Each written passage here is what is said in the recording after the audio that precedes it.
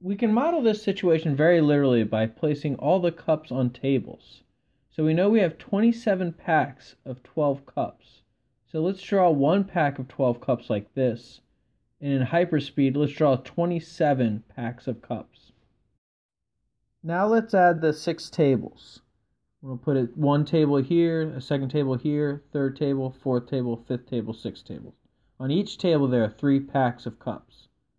We also have extra packs of cups that we need to put onto these tables.